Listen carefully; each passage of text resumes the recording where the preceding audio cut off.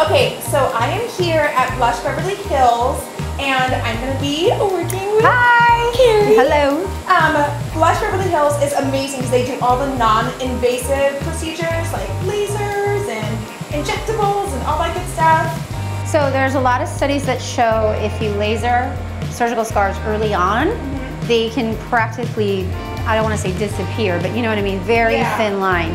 So we want to treat them early. I'm gonna do a test spot, okay? Okay. You said you don't feel much, so this will be great. One, two, three. I didn't feel that. Okay.